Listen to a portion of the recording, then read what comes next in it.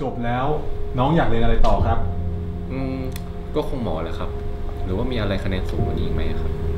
โหพี่ตั้งนาน แต่เพราะว่าหมอก็ดีนะ เท่สาวชอบ อยากเป็นหมอค่ะ อืมก็เอ่อก็น่าจะหมอค่ะ ก็คงหมออะไรพี่ แล้วพ อรู้อะไรเกี่ยวกับหมอบ้างไหม ก็คะแนนสอบเข้าสูงสุดครับ ไม่รู้เลยพี่ เท่สาวชอบ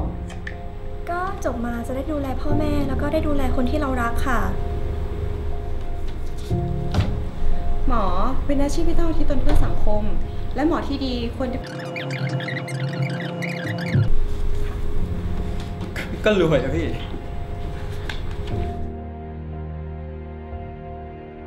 ว่าจะเรียนไหวไหม มันยากนะ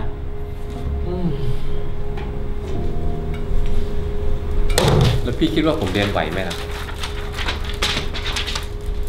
อืม ก็น่าจะไหวนะคะ สู้ค่ะไฟเตอร์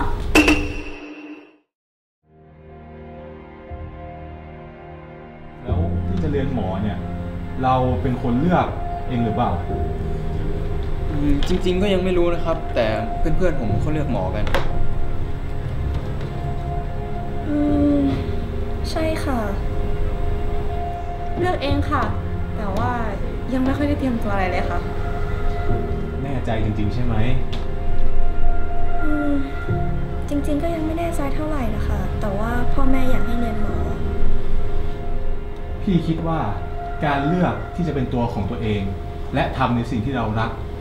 มันอาจจะทำให้เราเนี่ยมีความสุขกับมันได้มากกว่านะครับ อ๋อค่ะ ขอบคุณนะคะ ชีวิตก็เหมือนการถ่ายภาพยนตร์ เพราะว่าเราสามารถกำกับเองได้ ครับครับ